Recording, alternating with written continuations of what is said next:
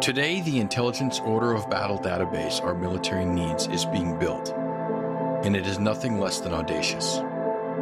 The current system, MIDB, the Modernized Integrated Database, is being replaced by MARS, the Machine Assisted Rapid Repository System.